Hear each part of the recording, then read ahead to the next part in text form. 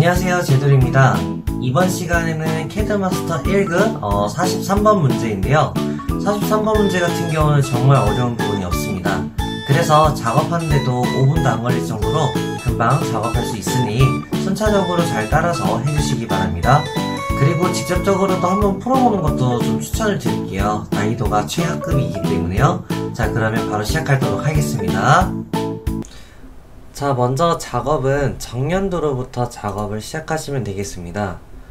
정면도에 이 테두리를 만든 후에 그 다음에 이 부분에 대해서는 둥글둥글하게 만들어 줄 것이고요. 그리고 이 부분은 별도로 스케치를 해서 돌출 컷을 사용을 할 겁니다.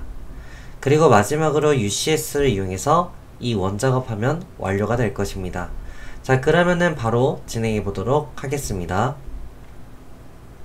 먼저 얘에 대한 전체 길이는 162mm 자 라인으로 162mm를 작업을 해주고요.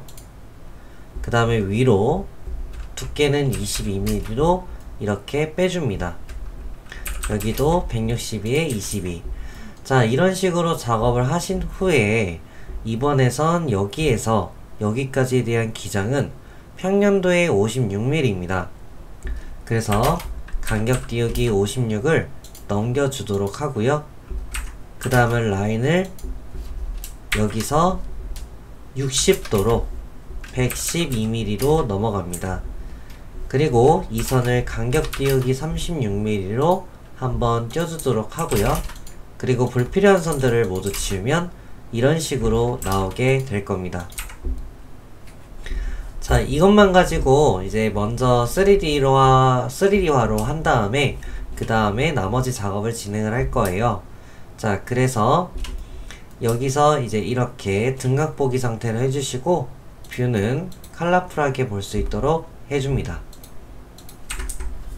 자, 그 다음 얘네들은 RUG라는 기능을 써서 전부 다 묶어주도록 하고요. 그 다음에 돌출이라는 기능을 써서 82mm로 돌출을 해주시면 되겠습니다. 자, 그 다음에 얘네들이 이렇게 눕혀져 있기 때문에 3R 기능을 사용해서 얘네들을 빨간색 축으로 세워주면 되겠습니다. 자, 그러면은 여기는 둥글둥글하게 바꿔주기 위해서 여기는 fillet으로 다듬어 줄 겁니다. 여기에 대한 R 값은 얘가 알려주는 증거입니다. 즉, R 41짜리씩 하라는 뜻입니다. 자, F 엔터, 모서리 클릭, 그리고 41 엔터, 또 이쪽 모서리 클릭 후 엔터 해주면 이렇게 다듬어 줄 수 있을 겁니다.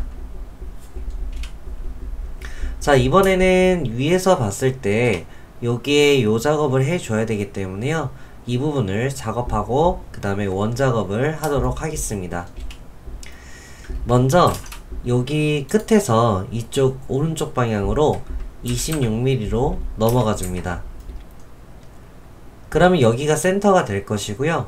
그 다음에 REC를 이 빈 공간에다가 골뱅이 26,26으로 이렇게 그려줍니다. 라인으로 대각선을 하나 그리면 이거에 대한 센터가 인식되기 때문에 무브를 통해서 이쪽에 갖다 넣으시면 되겠습니다. 자 그럼 이 선은 그냥 다시 버리시면 되고요.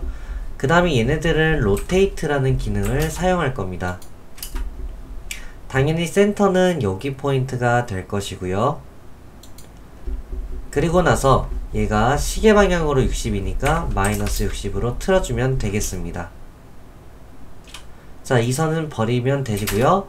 이 부분은 어, press pull이라는 기능을 써서 이 부분을 밀어버리시면 이렇게 뚫리는 모습을 볼 수가 있을 겁니다. 자, 그 다음 여기 원 작업은요. UCS를 사용해서 원점은 여기, X축은 여기, Y축은 이쪽으로 찍어주시고 그 다음에 C엔터 여기 센터를 인식시킬 겁니다.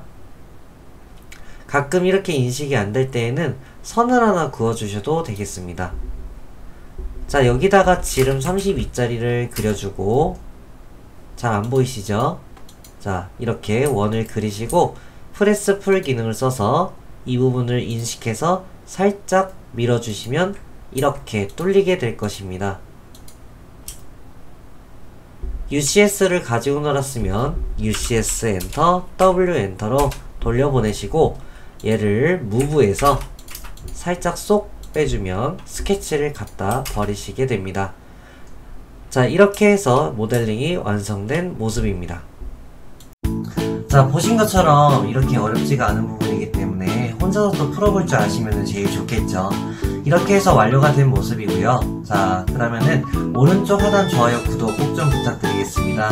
다음 시간에는 또 어려운 문제가 나올 수도 있기 때문에 잘 풀어주시기 바라겠습니다. 자 그러면 다음 시간에 뵐게요. 고생하셨습니다.